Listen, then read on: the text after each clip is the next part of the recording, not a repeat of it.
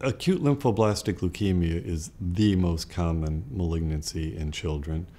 It's a malignancy of the bone marrow where the blood is made.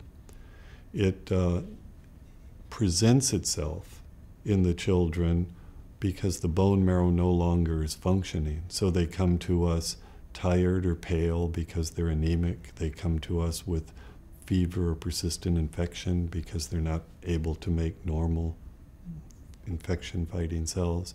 They come to us bleeding or bruising because they can't make the usual elements that clot the blood.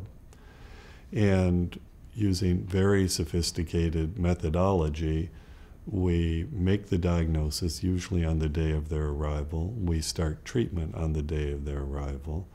And uh, today, we cure close to 90% of the children who come to us with this diagnosis. Acute lymphoblastic leukemia is treated with chemotherapy, and we use many drugs over prolonged periods of time. The treatment regimen is pretty rigorous, it's long, it's about two years total. The first three or four weeks, often at the hospital at Children's, and the next couple of years in and out of outpatient clinic at the Dana-Farber and the Jimmy Fund Clinic. The uh, initial discussions with the families, who by definition are strangers to us and we strangers to them, starts with an interpersonal relationship.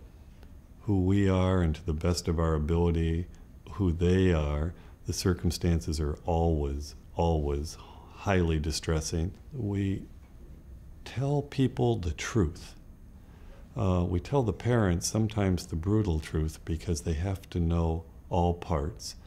We tell the children what I call the humanely tempered truth, which is in fact the truth. No lies, no lies.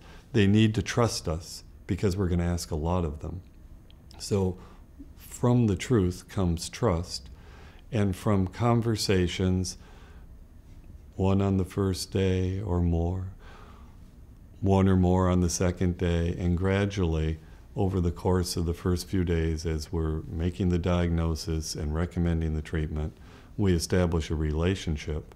And uh, one of the absolute best parts of the whole kind of business and job, if you will, is maintaining those relationships for 25, 30, and 40 years. There is no question that if you have to have a cancer diagnosis made, today is the best day in the history of the planet to have it because today is better than yesterday and better than the day before. That's universal. And I think it's really the interactions between so many different people our surgeons, our radiologists, our radiation oncologists, our pathologists, all the laboratory people behind the scenes uh, are all part of what makes this better each day. And uh, we just couldn't do it without all members of the Children's Hospital and Dana-Farber communities. My greatest satisfaction is when one of my patients comes back to me years later, maybe for an annual checkup, and brings with them their own healthy child. That's my definition of being cured.